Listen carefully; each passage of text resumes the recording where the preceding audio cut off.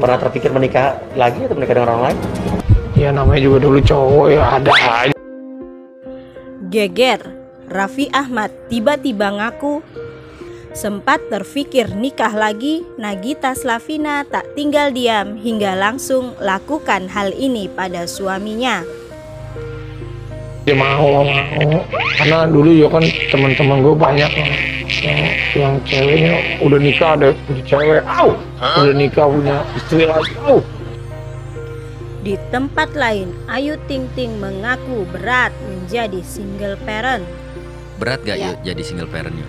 Kalau lu tanya berat, pasti jawabannya berat. Nggak mungkin enggak ya. Oke. Ya, Kalau kalau jawaban jujur pasti berat. Oke.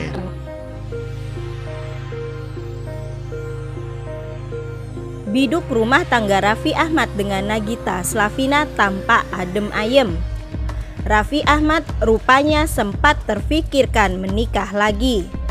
Sontak, pengakuan Raffi Ahmad itu pun memancing rasa kesal Nagita Slavina. Sebelumnya, Raffi Ahmad memang dikenal sebagai sosok selebriti tanah air yang playboy sampai akhirnya memutuskan menikah dengan Nagita Slavina. Gue juga dulu kan playboy, yang namanya juga beradaptasi dengan pernikahan kan. Iya. Ini jadi ada aturan, jadi ada kesetiaan ini apa ini kan gitu. Ayah dari Rafathar Malik Ahmad itu bahkan dulunya kerap diberitakan gonta-ganti pacar. Raffi Ahmad kemudian sukses mengejutkan publik dengan keputusannya untuk menikahi Nagita Slavina pada 17 Oktober 2014.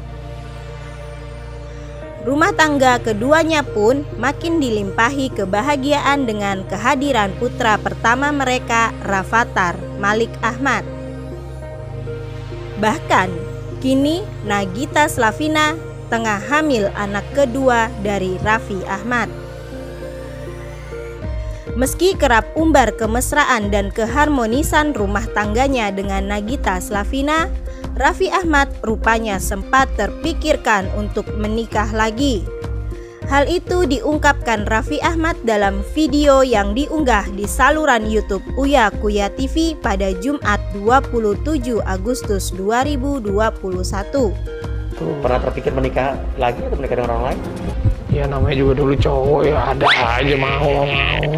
Aja kita pengen nikah sama cewek ini tapi juga enggak. Ya tapi kan kalau ini kan Ketika dihipnotis Uya Kuya, Raffi Ahmad mengungkapkan bahwa ia dulu sempat terpikirkan untuk menikah lagi.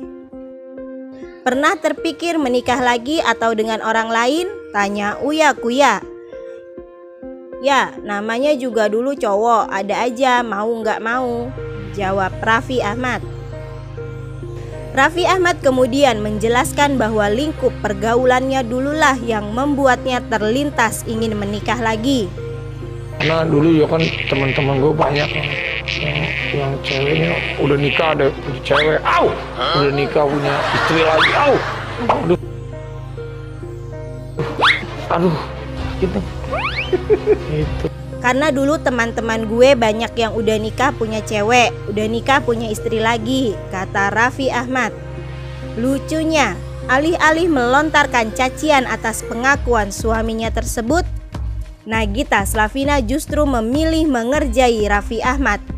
Seakan kesal dengan pengakuan Raffi Ahmad yang sempat terfikirkan mendua darinya, Nagita Slavina pun dengan jahilnya menjambak kecil rambut Raffi Ahmad. Tak hanya rambut, jenggot Raffi Ahmad pun juga jadi sasaran jambak Nagita Slavina sebagai bentuk kekesalannya terhadap pengakuan sang suami. Sementara itu, kehidupan pedangdut Ayu Ting Ting memang kerap menuai kontroversi. Sekalipun memiliki banyak prestasi di industri hiburan, namun hujatan dan cercaan tak henti mewarnai perjalanan kehidupan Ayu Ting Ting. Seolah tak pernah surut, Ayu Ting Ting pun gencar digosipkan dengan isu tak sedap. Memiliki banyak haters, hal ini agaknya bermula dari gosip Ayu Ting Ting yang dikabarkan pernah menikah siri dengan Raffi Ahmad. Sempat memicu perhatian, beberapa fans Nagita Slavina turut tak terima dengan gosip tersebut. Dianggap merusak dan mengganggu rumah tangga Nagita dan Raffi Ahmad. Sampai kini gerak-gerik sang biduan semakin santer disorot. Ya, hidup sebagai single parent memang tak mudah bagi seorang wanita. Hal ini juga diakui Ayu Ting Ting yang kerap dirundung gosip kurang menyenangkan.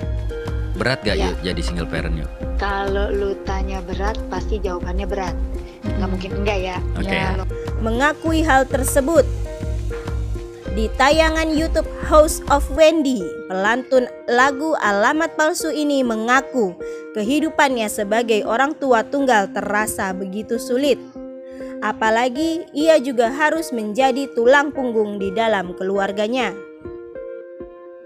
Kalau lu tanya berat pasti berat, gak mungkin enggak ya.